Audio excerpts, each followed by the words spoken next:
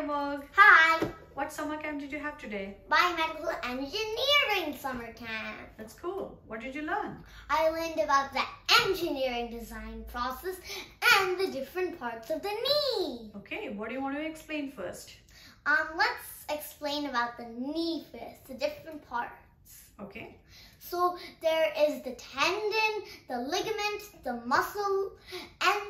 the bone. Okay. So the bones help support the body. The muscles connect to one bone or another muscle. The tendons, they connect to a muscle and other bones.